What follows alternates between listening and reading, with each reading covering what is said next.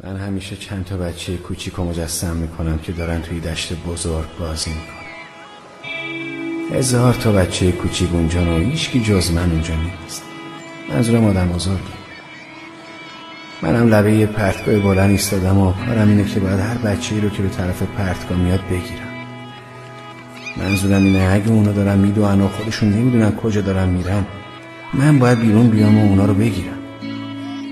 این تنها کاریه که باید توی روز انجام بدم.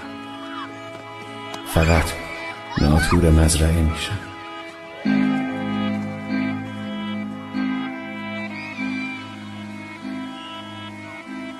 ناتور دشت.